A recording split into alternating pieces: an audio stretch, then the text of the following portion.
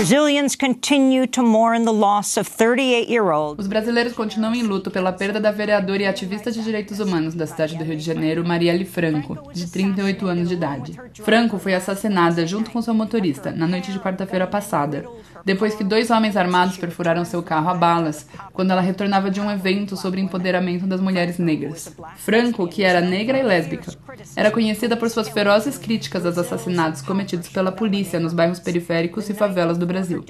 Na noite anterior à sua morte, Franco havia escrito no Twitter: Quantos mais devem morrer para que essa guerra termine? Apenas no mês de janeiro, números do governo mostram que a polícia matou 154 pessoas no estado do Rio de Janeiro. A morte de Franco vem em um momento crucial para o Brasil e o futuro da democracia no maior país da América do Sul. No mês passado, o presidente Michel Temer ordenou que as Forças Armadas do Brasil assumissem o controle da segurança pública no Rio. Há dois anos, a presidente brasileira Dilma Rousseff, do Partido dos Trabalhadores, sofreu um impeachment pelo Senado brasileiro, em um movimento que ela denunciou como um golpe. O Brasil está para realizar as eleições presidenciais ainda este ano. O favorito é o aliado de Dilma, o ex-presidente brasileiro Luiz Inácio Lula da Silva, mais conhecido como Lula. Enquanto ele lidera todas as pesquisas de opinião, ele enfrenta uma possível sentença de prisão, depois de ter sido condenado pelo que muitos acreditam serem acusações forjadas de corrupção e lavagem de dinheiro. No ano passado, a presidente Rousseff disse: O primeiro capítulo do golpe foi o meu impeachment, mas há um segundo capítulo, que é impedir o presidente Lula de se tornar um candidato para as eleições no próximo ano. O advogado britânico de direitos humanos, Geoffrey Robertson, disse ao jornal The New Internationalist que, abre aspas, medidas extraordinariamente agressivas estão sendo tomadas para colocar Lula na prisão pelo judiciário, pela mídia, pelas grandes concentrações de riqueza e poder no Brasil. Lula é um ex-líder sindical que serviu como presidente do Brasil de 2003 a 2010. Durante esse período, ele ajudou a tirar dezenas de milhões de brasileiros da pobreza. O presidente Barack Obama certa vez o chamou de o político mais popular da Terra. Bom, sexta-feira passada tive a chance de falar com Lula. Ele estava em São Paulo, Brasil. Comecei perguntando a ele sobre o assassinato da vereadora da cidade do Rio, Marielle Franco. M, nós temos dois problemas no Brasil. A primeiro que é inaceitável o assassinato da Marielle, da Marielle. Ah, uma, uma, uma jovem ah, que o único, a única coisa que ela fazia era incomodar os assassinos de negros da periferia de, de, do Rio de Janeiro uh, em defesa dos direitos humanos, em defesa da vida das pessoas. E uh, uh, está claro que a morte dela foi uma morte premeditada. Eu não sei se foi milícia ou se foi polícia. O dado concreto é que é inaceitável e acho que todos nós brasileiros deveremos, numa só voz, gritar bem alto para exigir imediatamente a punição dos responsáveis dessa chacina. E o presidente Temer deve ter aprendido uma grande lição com essa chacina, de que o problema da violência na periferia do nosso Brasil não será resolvida com as Forças Armadas é preciso que o Estado esteja presente dentro dos bairros periféricos do Brasil, com emprego, com educação, com saúde, com cultura, com, com, com, com emprego e com salário para que as pessoas possam sobreviver dignamente. Não é. Não, as Forças Armadas não foram preparadas para cuidar de crimes comuns dentro da favela do Brasil. Ah, elas foram preparadas para defender o nosso país ah, contra inimigos externos. Ou seja, quando, quando as pessoas entenderem que a violência no Brasil está ligado a péssima qualidade de vida que as pessoas estão sendo submetidas e a falta de condições de vida para as pessoas morarem em periferia, a gente vai diminuir a violência na periferia, sobretudo contra crianças jovens e negros do nosso país. E o, o caso da Marielle, o caso da Marielle é um caso emblemático porque obriga todos os democratas do mundo, todos aqueles que amam a vida, todos aqueles que amam a liberdade e todos aqueles que lutam em defesa dos direitos humanos protestarem muito alto e muito forte para que os assassinos de Marielle sejam presos e punidos exemplarmente. É isto que todos nós queremos. Cecilia Oliveira of The Intercept on Twitter tweeted the lot of 9 millimeter. Cecília Oliveira, do jornal The Intercept, tweetou: O lote de munição de 9mm usado na execução de Marielle Franco e Anderson Pedro, o ZZ-18, foi comprado pela Polícia Federal e é o mesmo encontrado na cena do massacre de Osasco, que matou 19 em São Paulo em 2015. Dois policiais e um guarda municipal foram condenados. Glenn Greenwald, do jornal The Intercept, tweetou: Para a surpresa de absolutamente ninguém, a evidência preliminar mostra ligações entre a polícia e os assassinos que mataram Marielle Franco. Nada é conclusivo ainda a esse respeito, mas a evidência preliminar aponta diretamente nessa direção. Você concorda com isso, presidente Lula? E o que o senhor acha que precisa ser feito imediatamente agora, enquanto milhares de pessoas tomam as ruas? And what do you think needs to be done immediately right now, of thousands, as thousands of people have taken to the streets? Olha, a primeira coisa é que, se for verdade a notícia de que a arma que matou a Marielle é uma arma comprada pela Polícia Federal, que já tinha sido utilizada para outras chacinas aqui em São Paulo há dois anos atrás, nós já temos um indício muito forte é preciso saber se em algum momento, nesse período entre a chacina de São Paulo e a chacina da, e a morte da Marielle, a Polícia Federal anunciou ou fez a denúncia de que tinha sido roubado armas da Polícia Federal ou munição da Polícia Federal. Porque se não houve roubo e a munição utilizada e as armas eram armas que a Polícia Federal tinha comprado, é preciso que a Polícia Federal se explique à sociedade brasileira por que, que essas armas estavam na mão dos assassinos. Nós temos um bom indício de provas para ir atrás da Polícia Federal e saber o que aconteceu.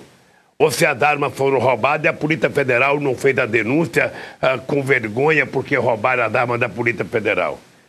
Ah, nesse caso, É, é muito importante que a gente tenha apenas algum cuidado para não fazer acusações uh, inverídicas, para não fazer acusações à busca de uma manchete de jornal.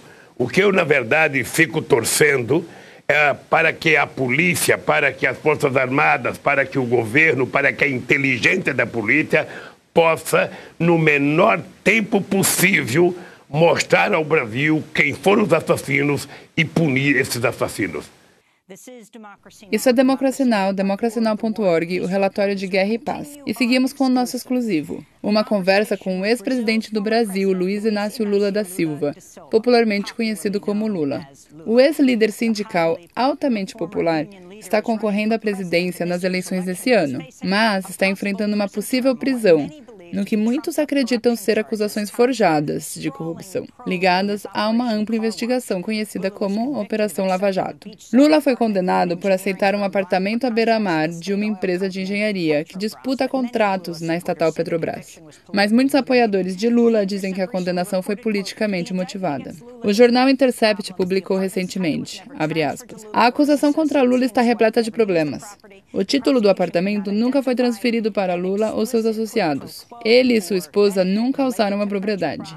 A promotoria não conseguiu identificar uma compensação ou benefício explícito relacionado à Petrobras. Nenhuma documentação oficial ou interna ligando Lula ao apartamento foi produzida. E o caso repousa quase inteiramente no testemunho do executivo, que esperava ganhar um acordo de leniência por sua cooperação conclui.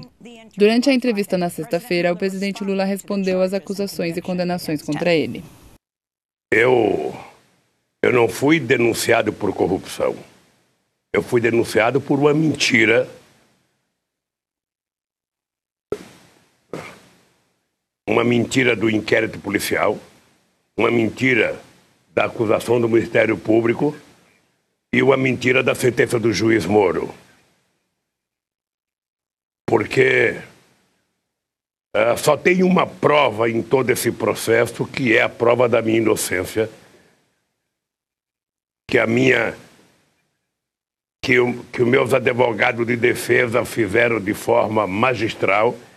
E estamos aguardando que os, acusa, os acusadores mostrem pelo menos uma peça de acusação que diga que eu cometi algum crime no meu período de governo. O que, o que está por detrás disso é a tentativa de criminalização do meu partido.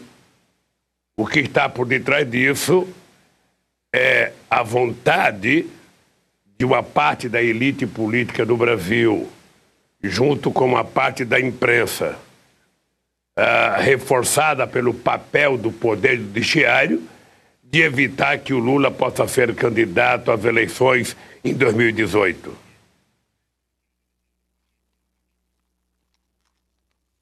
E eu continuo desafiando a Polícia Federal, continuo desafiando o Ministério Público, continuo desafiando o juiz Moro e o Tribunal da Segunda Instância a mostrar ao mundo e ao Brasil uma única prova de crime cometido por mim.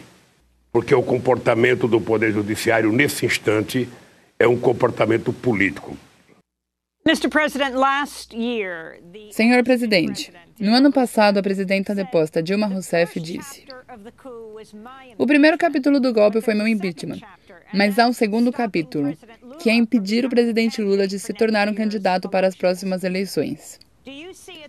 Você vê da mesma forma que este é o último capítulo do golpe e que sua condenação sendo mantida, você será impedido de concorrer nas eleições de outubro? O, o M, o, o, o, o PT, ele conseguiu fazer em 12 anos de governo no Brasil muitas coisas que não tinha sido feito durante todo o século XX. Neste país, em 12 anos, nós elevamos 40 milhões de pessoas a um padrão de vida de classe média. Nós tiramos 36 milhões de pessoas da miséria.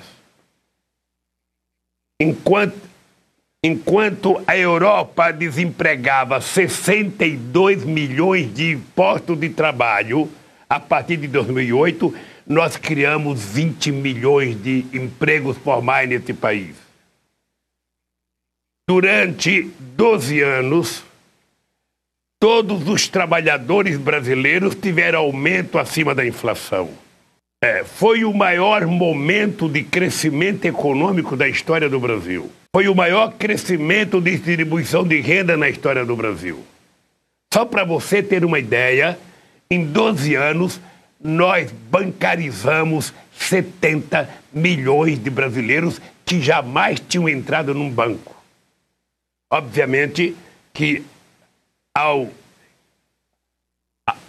ao depor a Dilma, eles não iam querer que o Lula votasse, porque eles sabem que a relação do Lula com a sociedade brasileira é a relação mais forte que um presidente do Brasil já teve em toda a sua história. E mais importante, M, eles sabem que eu tenho, tenho a certeza absoluta de que a melhor forma de recuperar a economia brasileira é elevar a ascensão do povo pobre e trabalhador desse país. Eles sabem que eu sei como fazer isso. A hora que o povo pobre estiver trabalhando, a hora que ele estiver recebendo salário, a hora que ele estiver estudando, hora que ele estiver comendo melhor, hora que ele estiver morando melhor, hora que ele estiver vestindo melhor, a economia volta a crescer e nós voltamos a ser o país mais otimista do mundo e o povo mais alegre do mundo. Por isso, M, eu quero ser candidato a presidente da República do Brasil.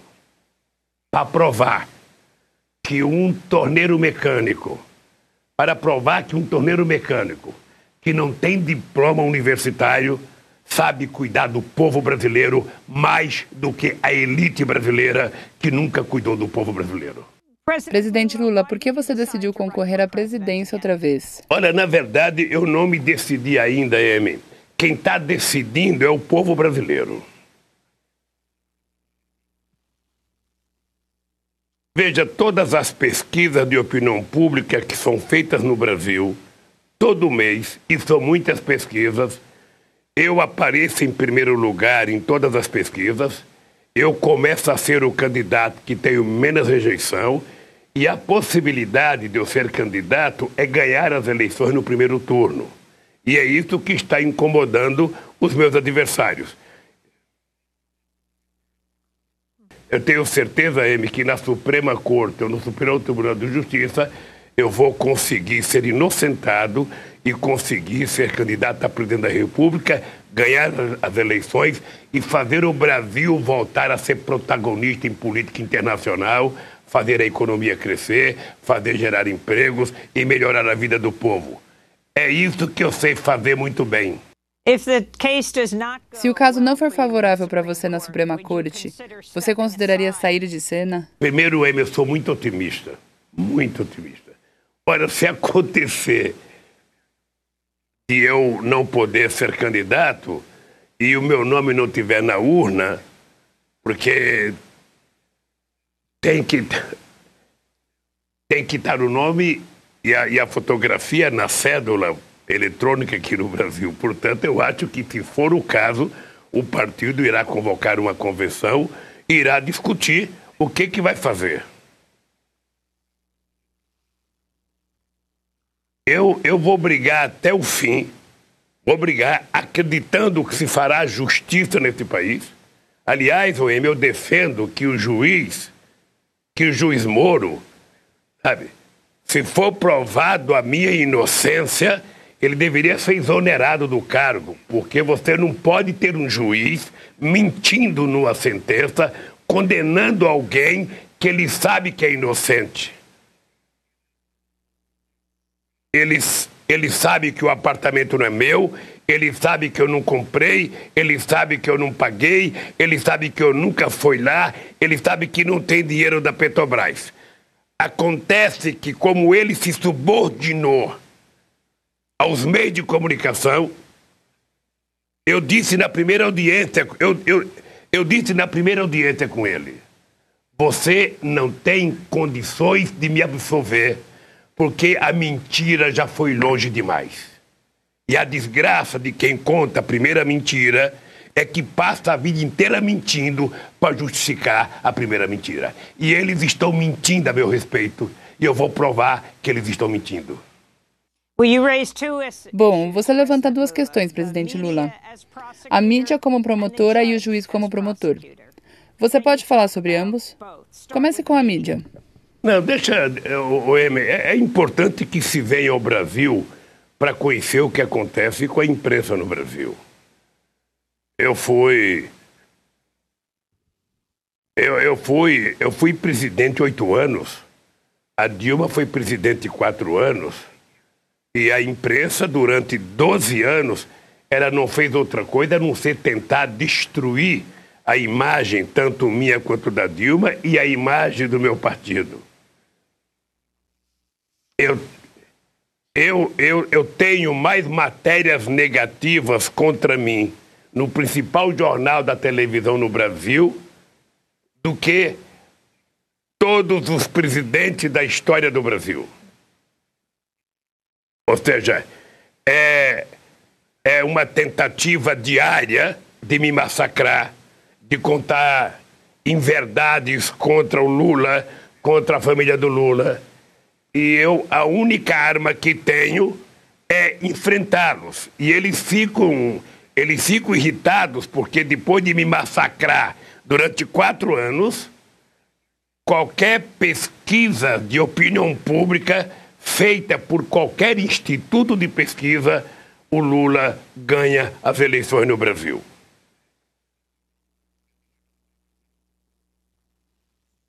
Segundo M, o Ministério Público da Lava Jato. Eu respeito muito a instituição Ministério Público. Fui, fui deputado constituinte e ajudei a reforçar o papel do Ministério Público.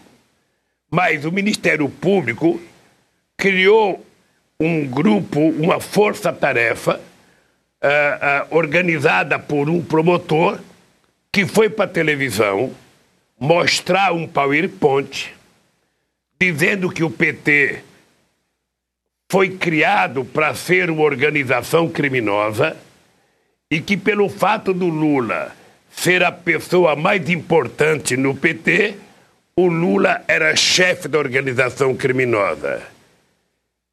E ao terminar, ao terminar a acusação, ele diz simplesmente o seguinte: Não me peçam provas. Não me peçam provas. Eu tenho convicção.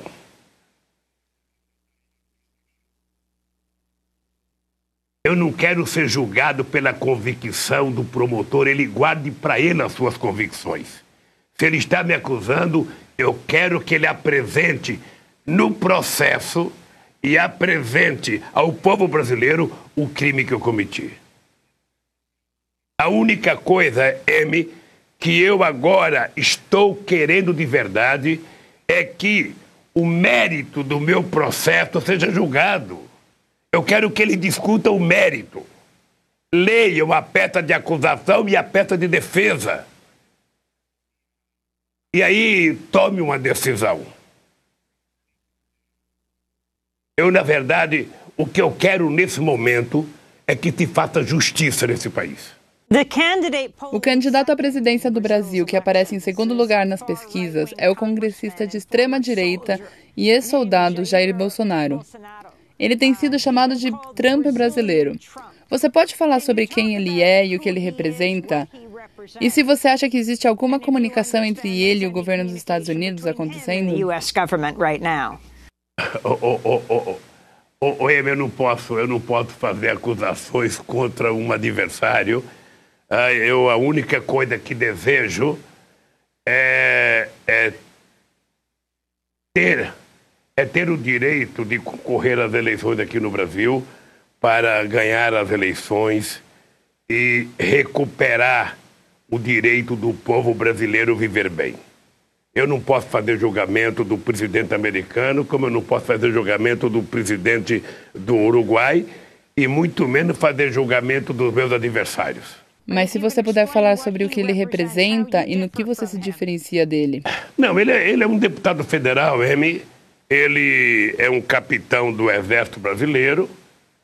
A informação que nós temos é que ele foi expulso do Exército Brasileiro. E ele é um homem que tem um comportamento de extrema-direita, fascista, sabe?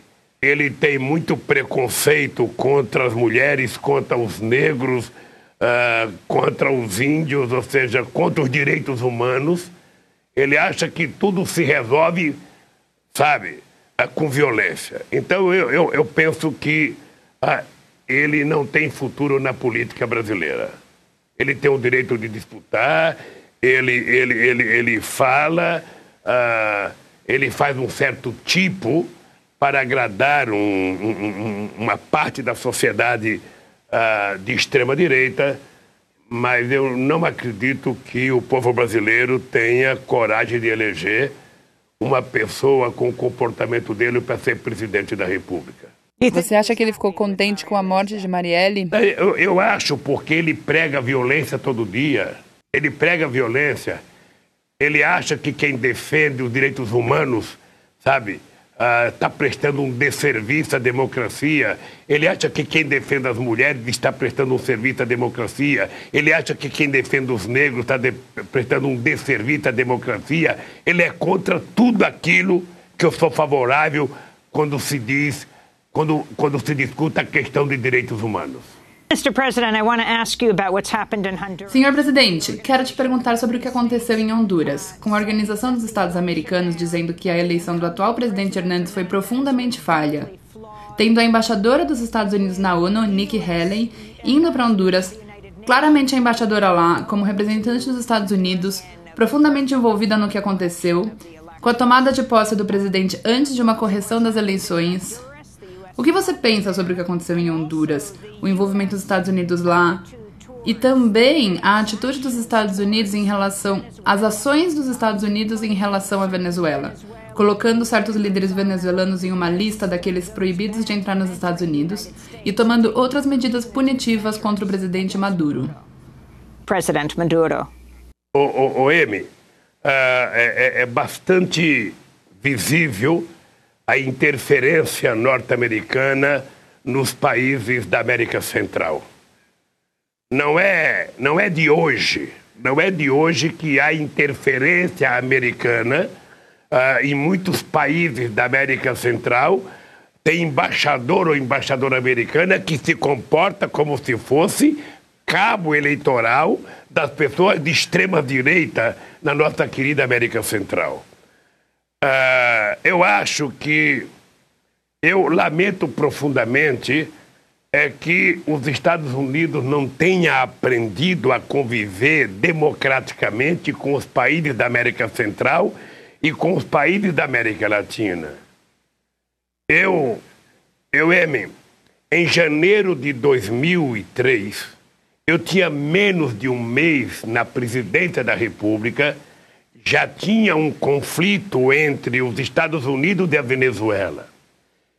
E eu estava no Equador participando da posse do presidente do Equador, quando me reuni com Chaves e propus a criação de um grupo de amigos da Venezuela para que a gente pudesse garantir a democracia na Venezuela.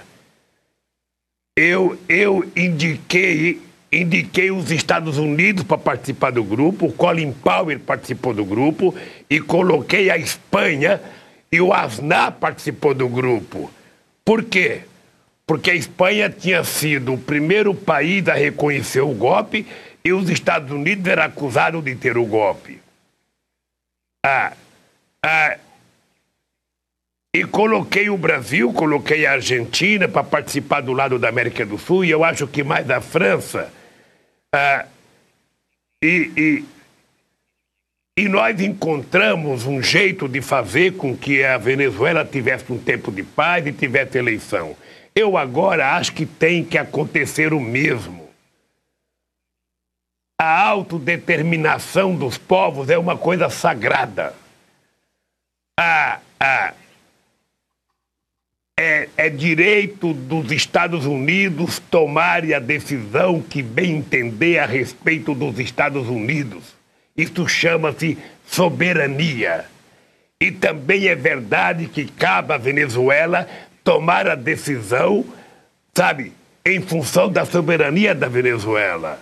Eu penso que eu, eu tentei várias vezes fazer com que o presidente Bush se reunisse com o presidente Chaves ah, eu tentei várias vezes, na primeira reunião, na primeira reunião que o presidente Obama foi a Trindade Tobago, logo no primeiro ano da posse dele, nós fizemos uma reunião com a participação do Chaves, tentando criar condições para que os Estados Unidos tivessem uma relação mais tranquila com a Venezuela. Mas me parece que ah, não é possível. Há uma certa irracionalidade no Departamento de Estado americano que não quer negociar a paz na Venezuela. Olha, é preciso compreender que a América do Sul crescendo vai melhorar a política econômica do mundo inteiro. A, a, a ninguém interessa que a democracia corra risco em qualquer lugar do mundo. Por isso eu lamento que não haja compreensão dos Estados Unidos com relação à Venezuela. Eu, eu uma vez. The US CIA, US government. É de conhecimento geral que a CIA, o governo dos Estados Unidos, esteve envolvida com o golpe de 1964 no Brasil. Você vê alguma evidência disso, tanto no impeachment da Dilma quanto no seu caso? Você vê alguma evidência de algum envolvimento estrangeiro particularmente dos Estados Unidos? Particularly the US. Olha, levou quase 40 anos para ficar provado que os Estados Unidos tinham participado do golpe de 64. Eu, eu, eu, embora não seja defensor da teoria da conspiração, eu estou convencido que a gente nos Estados Unidos que não aceita o protagonismo do Brasil na política externa. Há, interesse, há interesses extraordinários na nossa Petrobras. Há interesses efetivamente na influência do Brasil na América Latina e na América do Sul.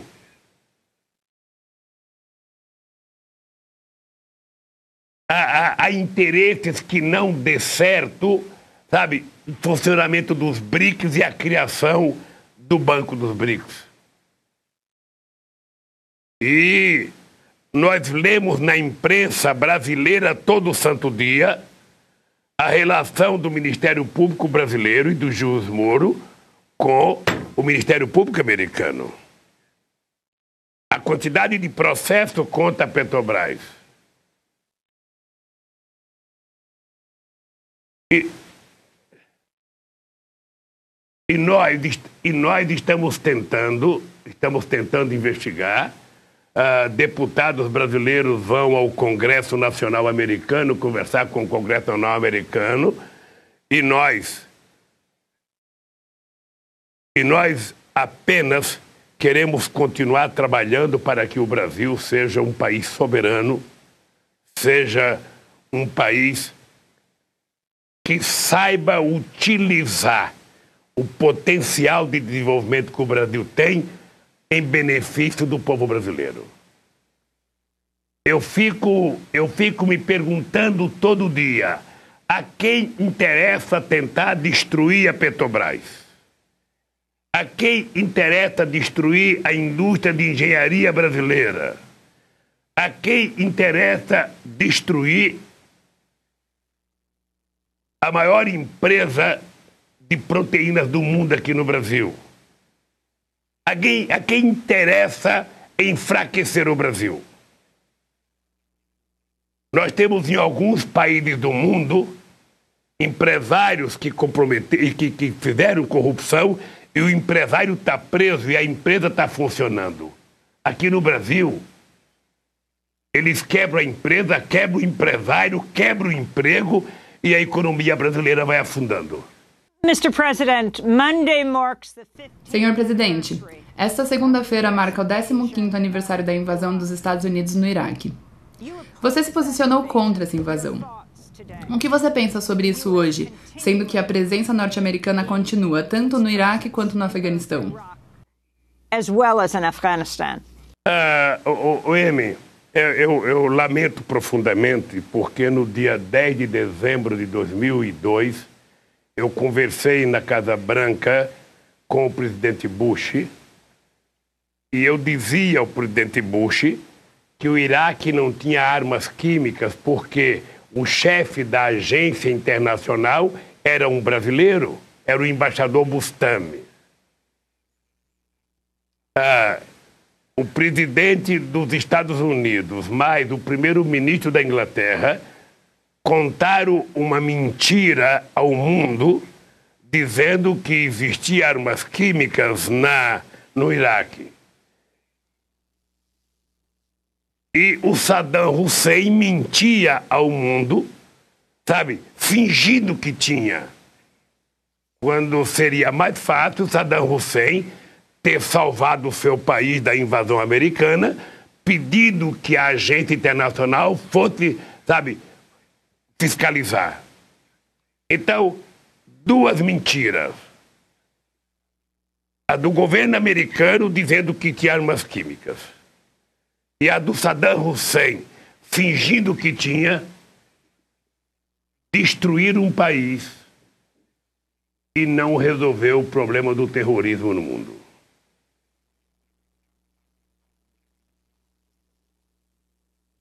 Eu acho que foi uma pena. Foi uma pena e já fazem muitos anos e até agora ninguém conseguiu mostrar, sabe, nada de armas químicas no Iraque. Me, me, me parece que a única arma química que tem no Iraque era o próprio Saddam Hussein.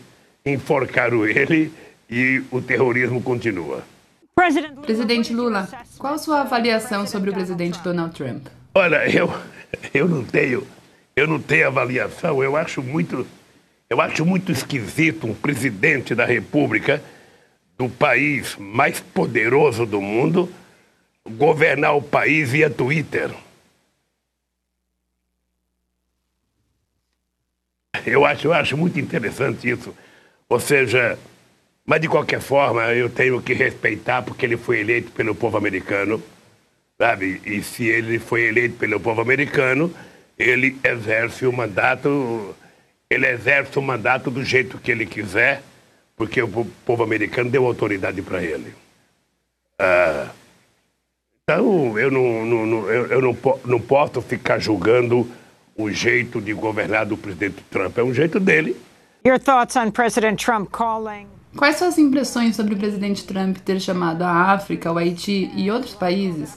Bom, ele chamou a África de um país de buracos de merda.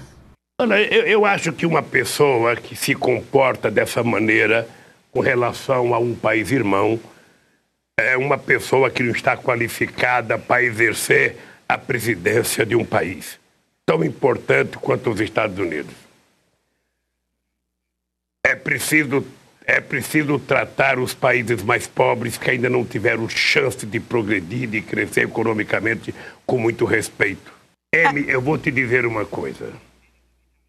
Se os países ricos, sobretudo os Estados Unidos, que já gastaram mais de 14 trilhões de dólares para resolver a crise financeira de 2008 com a quebra do Lehman Brothers, tivesse utilizado tivesse utilizado parte desse dinheiro para ajudar os países da África a se desenvolverem, certamente a África estaria crescendo mais, gerando mais empregos, fortalecendo a democracia e melhorando a vida do povo.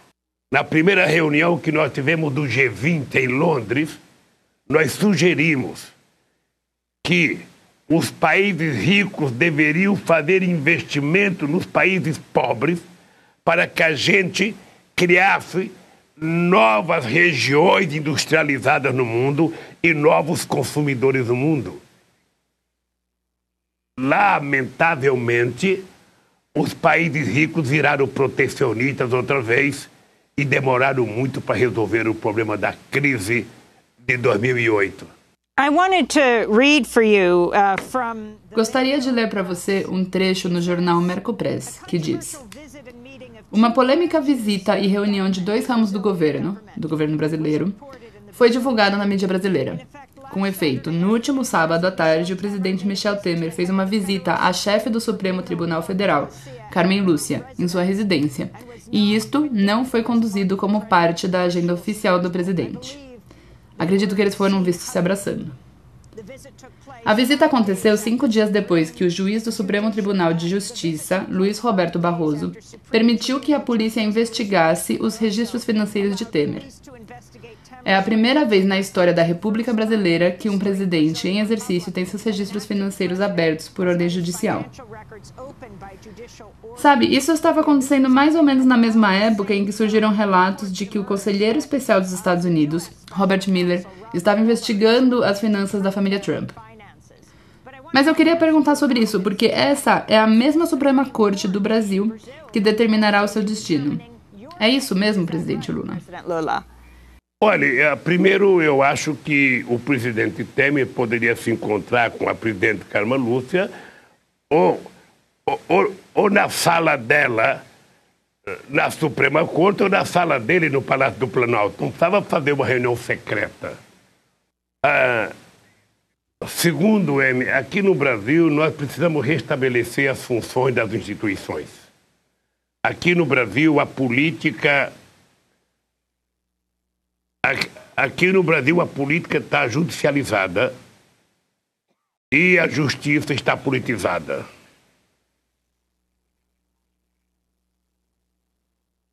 E é preciso que as instituições voltem à normalidade. O Poder Judiciário, através da Suprema Corte, é o garante da Constituição. O Poder Executivo executa e o Poder Legislativo legisla. Se a gente voltar a ter uma relação harmônica e de respeito, a gente pode fazer com que o Brasil volte à normalidade. Ah, eu também ah, tem acontecido coisas muito anormais no Brasil. Ah, tem muito juiz e ministro falando pela televisão todo dia.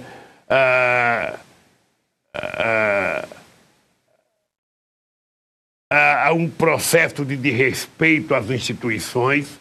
Agora mesmo nós temos no Brasil uma parte do Poder Judiciário fazendo greve, requerendo um auxílio moradia de quase R$ 4.600.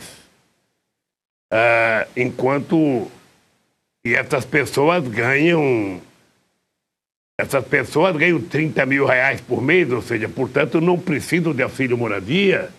Quem precisa de auxílio moradia é o povo pobre brasileiro que não tem casa. Essa gente precisa de auxílio moradia. Então, então eu tenho eu tenho convicção, eu tenho certeza eh, de que é possível restabelecer a harmonia no Brasil. Eu, eu, eu, eu tenho certeza que é possível a gente voltar a ter um clima, sabe, que tínhamos em 2010, 2009, com todo mundo vivendo harmonicamente, todo mundo, sabe, uh, conversando e todo mundo vivendo democraticamente na diversidade. Presidente Lula, o senhor pode ser preso a qualquer momento. O que pretende fazer? What will you do? Não, eu não posso ser detido a qualquer momento. Eu, eu, eu não posso ser detido a qualquer momento. Esse negócio de eu ser detido a qualquer momento é um desejo, sabe, dos meus adversários, dos meus inimigos. Eu só posso ser detido se alguém provar um crime cometido por mim.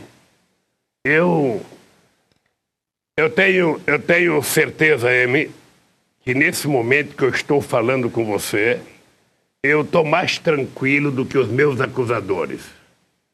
Eu tenho a tranquilidade dos inocentes. Eu tenho certeza que eu tenho a tranquilidade dos inocentes. E os meus acusadores sabem que estão me acusando com base numa mentira. Portanto, eu, eu não acredito que eles consigam colocar a cabeça num travesseiro e dormir com a tranquilidade que eu durmo todo dia. Mesmo que você continue dizendo que é inocente, o juiz, o tribunal já determinou que você é culpado e condenado a quando? Quase 10 anos de prisão. Portanto, mesmo que você discorde com a condenação e o apelo ser negado, isso aconteceu. Você resistiria à prisão? Você resistiria a ser preso? Não, eu, eu trabalho com a hipótese de que haverá justiça antes de tomar decisão. Eu estou convencido porque eu, eu, o, o, o, o M, a única coisa que eu estou exigindo nesse momento, a única coisa que eu estou exigindo nesse momento é que eles julguem o mérito do meu processo. A Suprema Corte e o Superior Tribunal de Justiça não podem deixar prevalecer a inverdade contra a verdade.